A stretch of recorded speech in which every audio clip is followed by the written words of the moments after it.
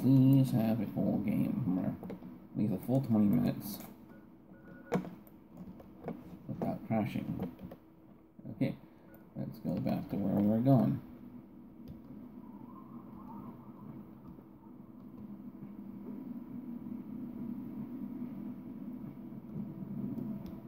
Theoretically, I shouldn't have to save every 5 seconds.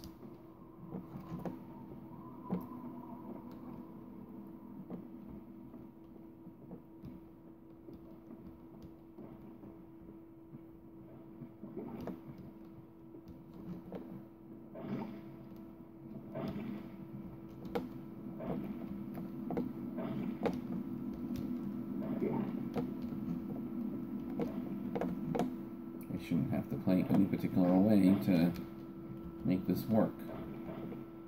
This is a triple A game.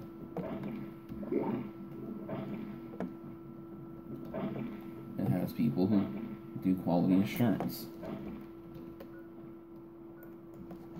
And I would like to think that they wouldn't put it out on the market if it didn't if it worked. I mean, if it didn't work.